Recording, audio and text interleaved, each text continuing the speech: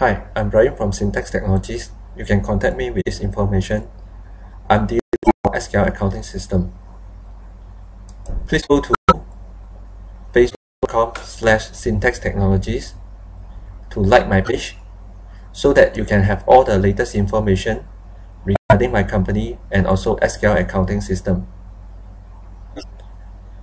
You may also go to youtube.com slash syntax technologies browse videos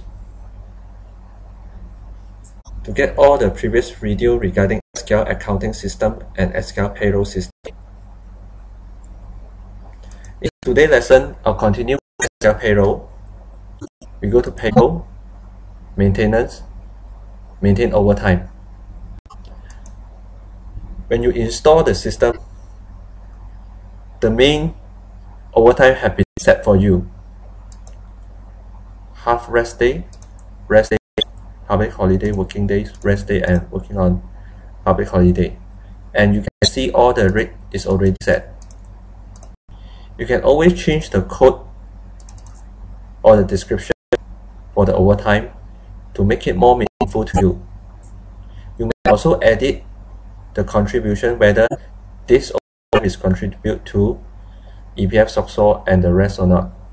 If you want to change, just click edit and take it so to make it not contribute to EPF for this example. You may have your own calculation of overtime. So what you need to do is click new, create your own code and the rate by yourself. Over here, you can also go to payroll maintenance, maintain your claims. Any type of claims you can maintain so that you it is choosable under the open pending later.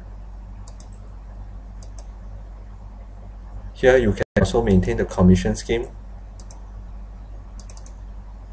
whether it's contribute to or not.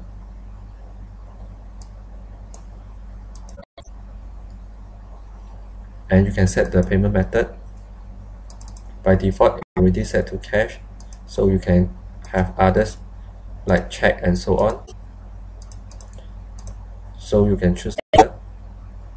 just remember to put in all the necessary information over here. Sorry.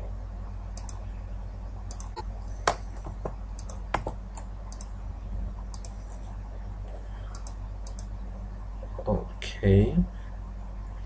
So um that's all for today. Tomorrow I'll continue with open pending